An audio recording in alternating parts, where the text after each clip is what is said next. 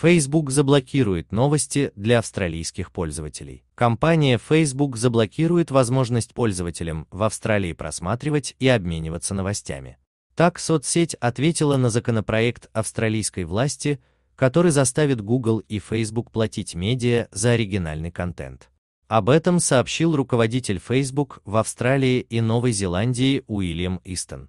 По его словам, новое австралийское законодательство создает прецедент, когда правительство решает, сколько платит сторона, которая уже получает выгоду от бесплатной услуги. Предложенный закон принципиально неправильно понимает отношения между нашей платформой и авторами, которые используют ее для обмена новостным контентом.